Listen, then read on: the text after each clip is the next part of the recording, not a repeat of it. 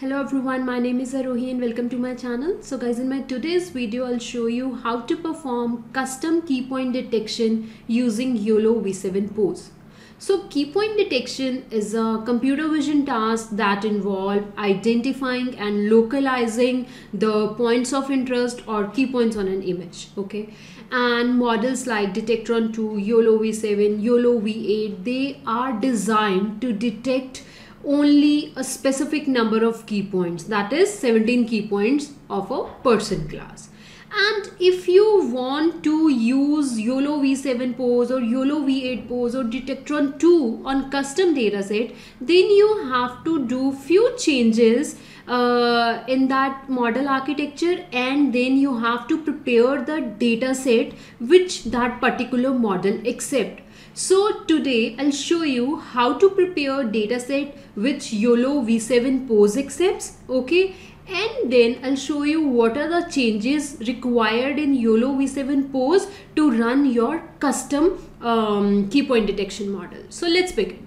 So guys over here you can see the dataset which I'm using for today's class is glass dataset. So it has only one class glass and we are working on four key points. So you can see here 1, 2, 3, 4. These are the four key points and our class name is glass and we are also having a bounding box. So this is what we are going to do in our today's class. So first I will show you how to prepare dataset for YOLO V7 pose. Okay.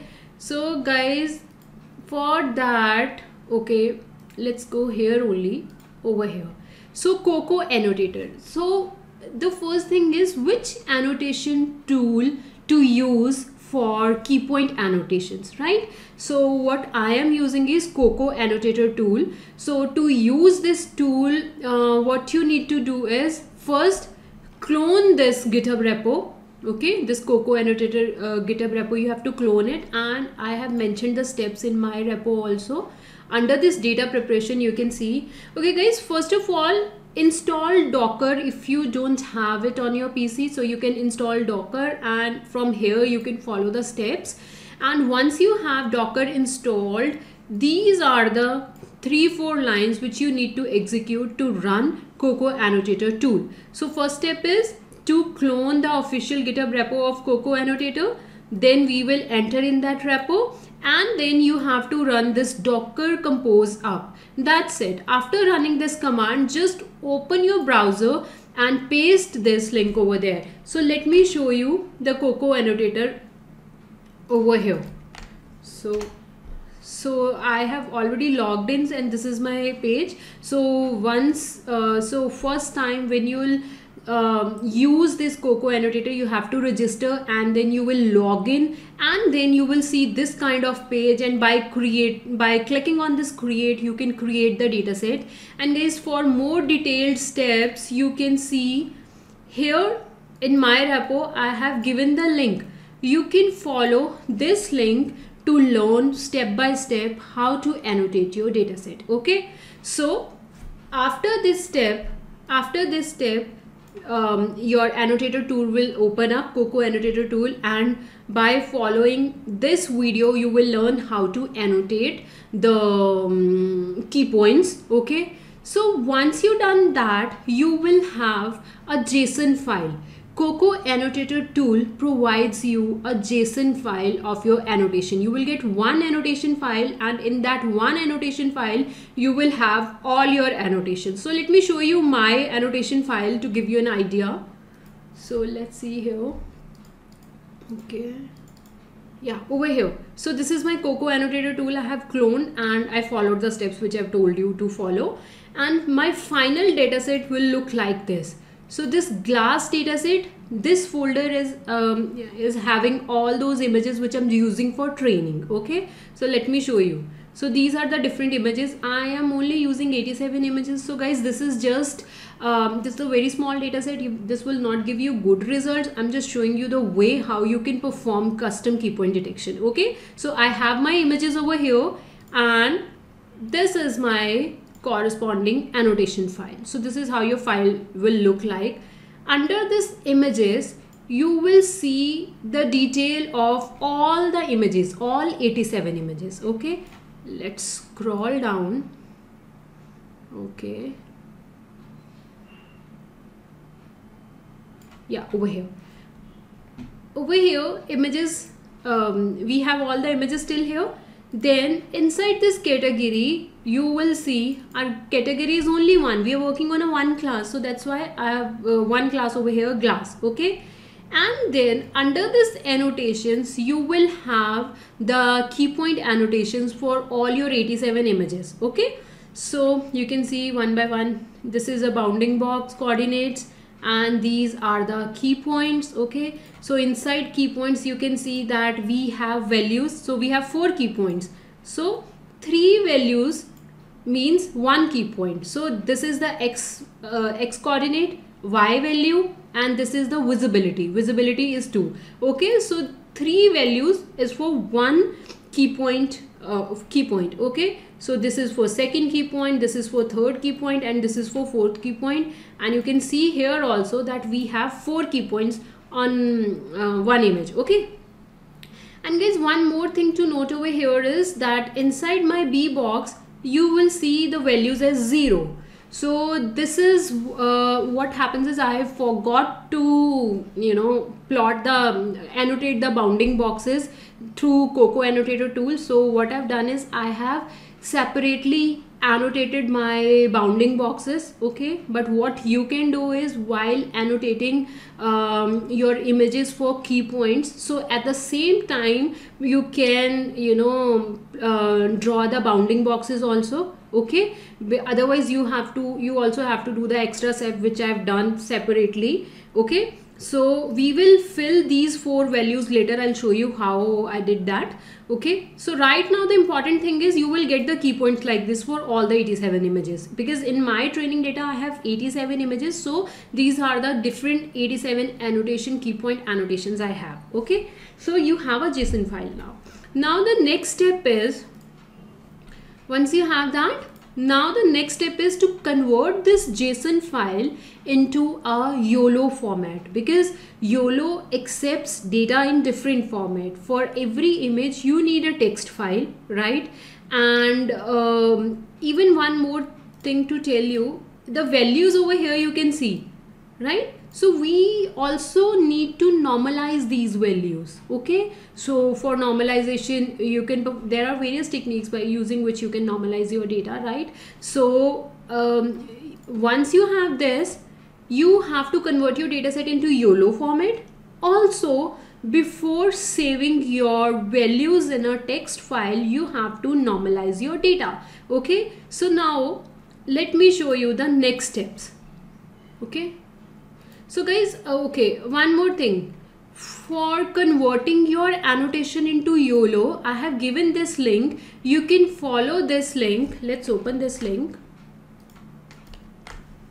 From here you will get an idea how to convert the JSON um, you know JSON annotation into a YOLO format okay? Just follow this um, um, issue and you will see over here by following this code you can have a separate text file for each image okay? And uh, that's how you will get your separate annotation files. Now let me show you my dataset.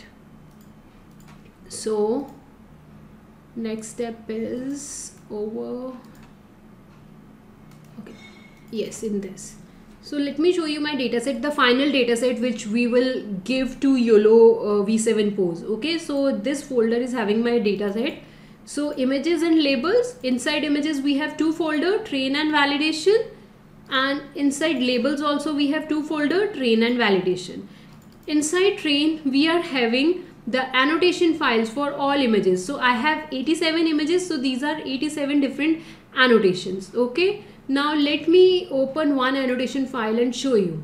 So this is my class ID and this first, second, third, fourth. These are the bounding box coordinates. So uh, guys, I have told you like I missed this step in Coco annotator. So what I did is using labelImg tool, I um, I annotated my images for bounding boxes and then I concatenated both the uh, files key point uh, text file and the this bounding box file I concatenated it okay? So now I have uh, bounding box coordinates over here and this. One value second value and then this two. X coordinate of first key point y of first key point and visibility of first key point so we have four key points. So you will see the values like this. And guys even over here you can see that my values are normalized between 0 to 1 okay? So this is how your file look uh, should look like. Okay? Then only YOLO v7 pose will accept your dataset so for every file for every text file you will see these kind of annotations. Okay? So inside images inside train you will have training images and inside value will have validation images. So this is my final dataset which um, we are providing to our YOLO v7 pose now what all these files and folders are from where you can get this code? So for that just when your dataset is ready see guys I have mentioned over here just clone the github repo my github repo okay? And then enter in that github repo install all the requirements and place your dataset folder in that repo the way I placed it over here. So this is my dataset folder I placed in the YOLO v7 pose repo.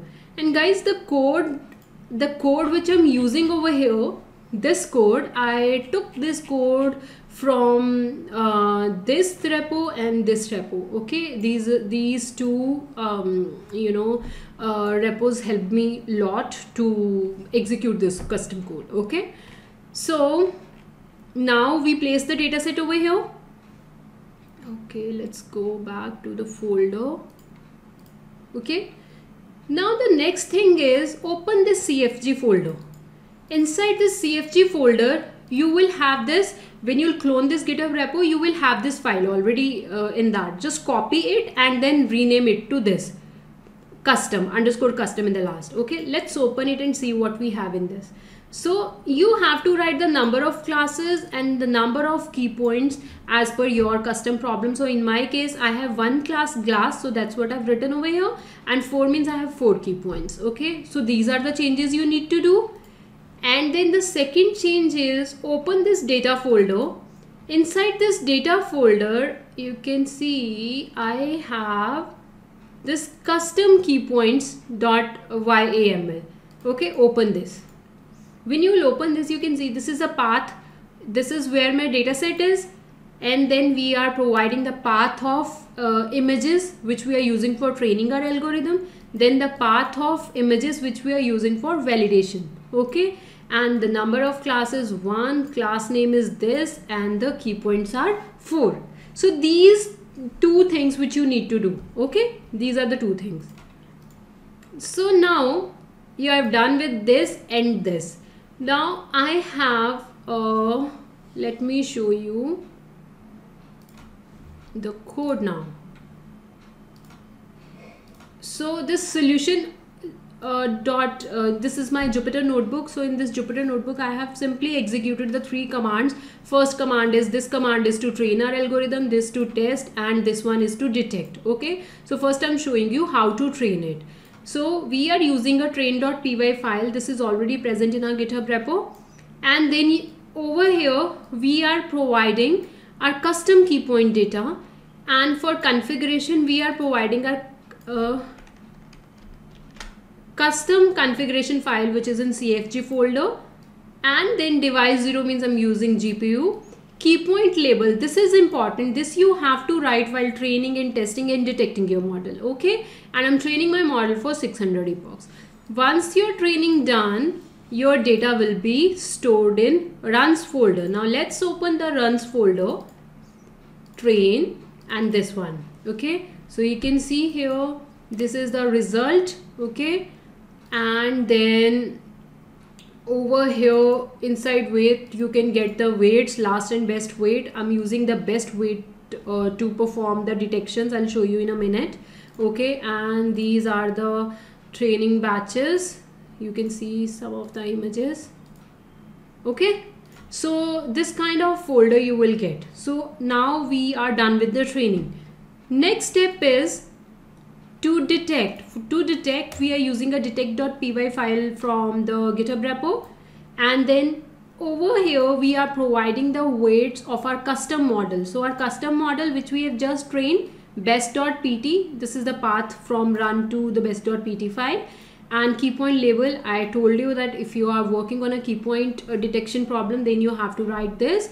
Source over here i'm writing uh, image in the same way you can give a if you want to work on multiple images at same time then you can give the folder name also okay and this is the confidence score and IOU I'm mentioning. So I have trained on a very little data set so that's why I'm writing a very small confidence value okay just to mm, show you the key points on the images so we are using a very small value. So let's execute it and go back to the detect folder and this is the latest one and let's open it and you can see the result. So we have four key points. One two three four and we have the bounding box around it. So guys this is how you can work on your custom problem okay? So uh, the github link is given in description section. You can try this code. And guys if this video is helpful please uh, like share and subscribe my channel. Thank you for watching